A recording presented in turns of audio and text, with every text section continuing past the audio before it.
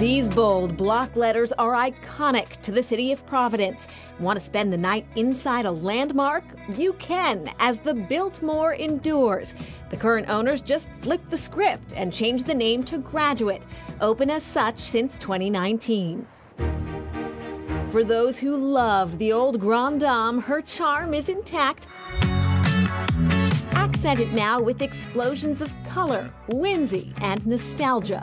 Grand Budapest Hotel, the movie. That was really what drove the design element in the lobby here, just to kind of give that movie, that Hollywood feel when you walk in, just that wow factor. Honoring the hotel's rich history was crucial in the overhaul it underwent, says General Manager Scott Williams. So much has happened here since 1922. When the hotel first opened, there was a barbershop, there was a post office, there was an ice plant. It's the place presidents would stay. The city's longest serving and wildly notorious mayor, Buddy Cianci, lived here.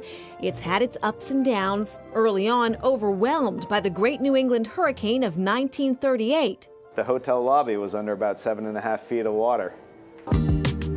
Current day graduate offers 294 bright and playful guest rooms and majestic gathering spaces. The ceilings are all original to 1922. All the inlay work, the columns, the dance floor is original. An elevator that boasts back to the future type travel but goes nowhere, preserved just for posterity, and much more.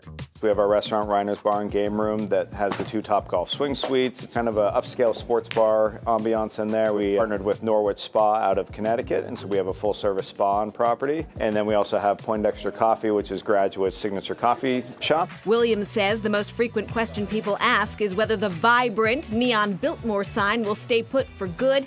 His answer absolutely. It's a beacon when you're driving into Providence, so it's something that even though the hotel is no longer officially the Biltmore, the soul of the hotel will always be the Biltmore.